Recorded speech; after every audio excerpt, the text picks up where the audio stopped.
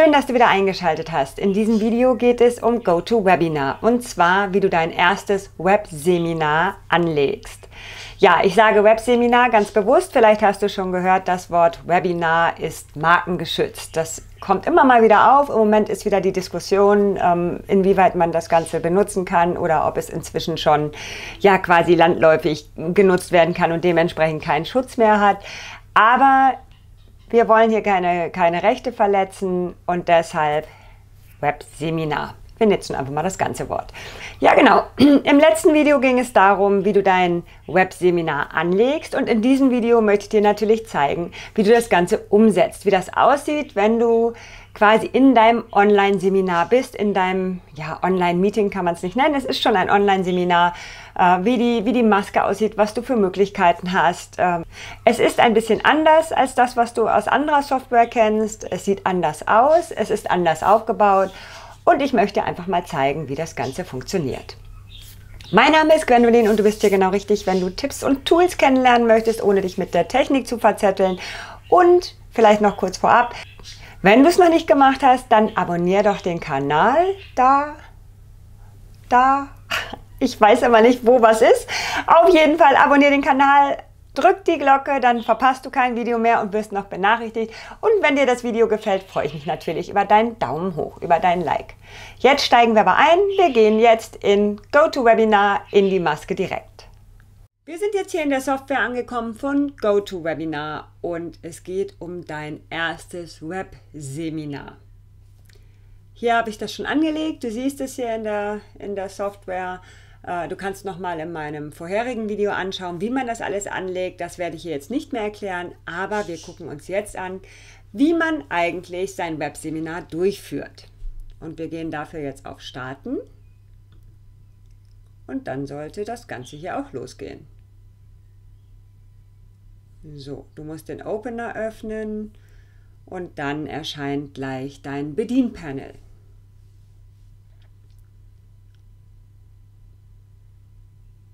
Willkommen zum Webinar. Sie haben sich als Organisator eingewählt und können nun mit allen anderen Organisatoren oder Diskussionsteilnehmern in der Leitung sprechen. Wenn Sie bereit sind, mit Ihrer Präsentation zu beginnen, klicken Sie im GoToWebinar Bedienpanel auf die Schaltfläche Übertragung starten, damit alle Teilnehmer Sie hören können.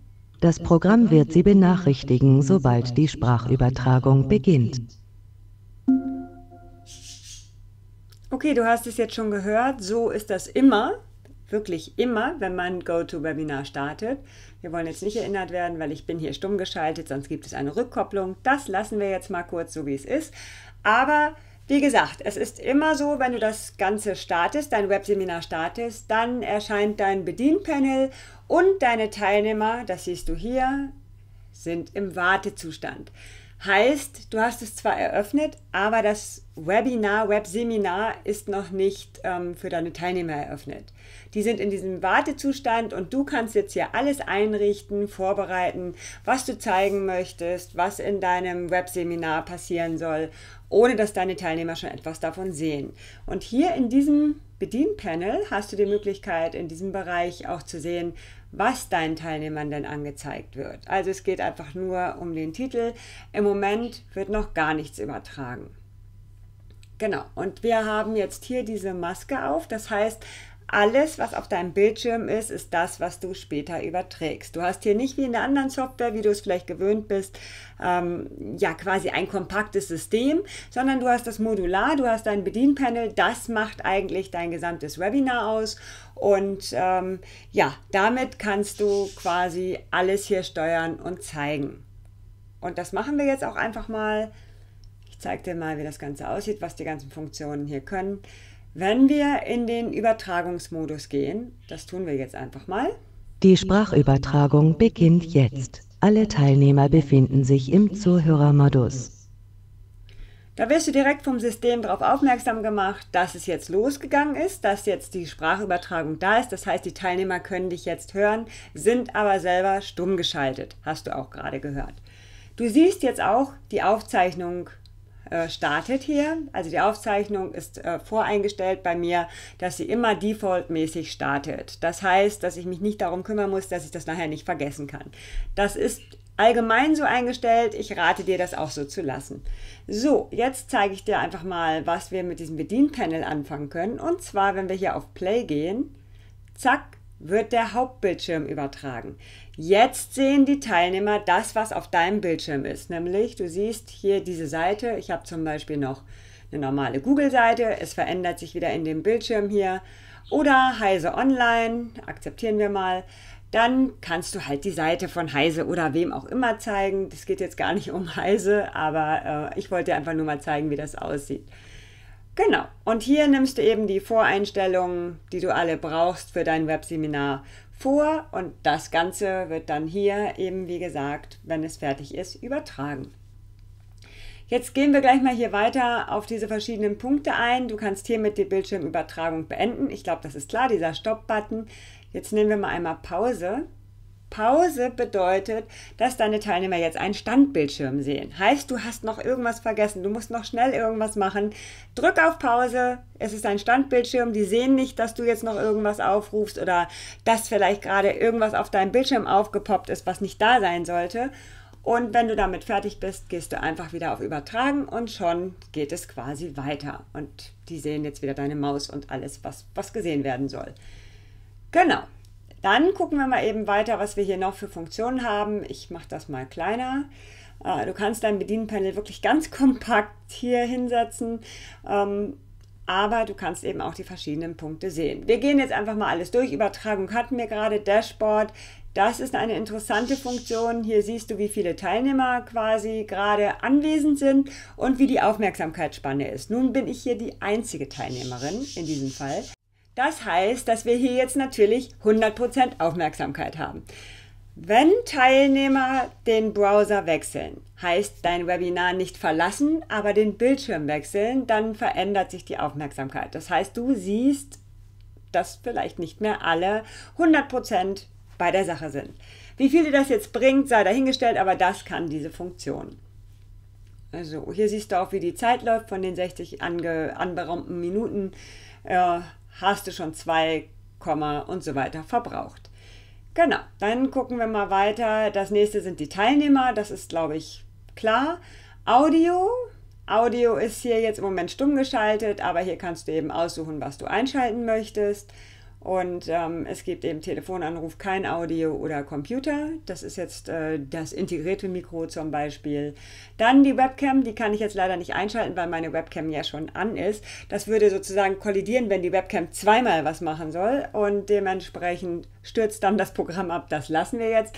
Grundsätzlich schaltest du natürlich deine Webcam ein, wenn du möchtest, dass deine Teilnehmer dich sehen können. Dann haben wir hier Fragen, ein ganz interessantes Tool. Fragen sind jetzt nicht Fragen, die du stellst, Fragen sind die Fragen, die deine Teilnehmer stellen. Das heißt, du kannst zum Beispiel auch nur Fragen statt des Chats einstellen und dann werden hier die Fragen schön aufgelistet. Man sieht auch, dass es so ein bisschen sich abhebt mit weiß und grau, so dass du erkennen kannst, welche Fragen eben gestellt wurden und man kann hier dann auch Antworten eingeben und man kann auch noch einstellen, dass zum Beispiel hier die beantworteten Fragen angezeigt werden. Das Schöne ist, dass du damit natürlich ein bisschen sortiert die Fragen irgendwie alle sehen kannst. Noch schöner ist es, wenn du mit einem Moderator, Moderatorin arbeitest und die zum Beispiel hier schon mal ähm, oder die oder der hier zum Beispiel schon mal äh, die Fragen beantwortet oder aber die Fragen aufgreift und dann in einer Präsentationspause zum Beispiel dir die Fragen zuspielt, sodass man das Ganze ein bisschen interaktiver gestalten kann, die Teilnehmer mit einbindet und einfach auch direkt auf die Rückmeldung bzw. Fragen eingeht. Okay, dann gucken wir mal. Das nächste sind die Kurzumfragen.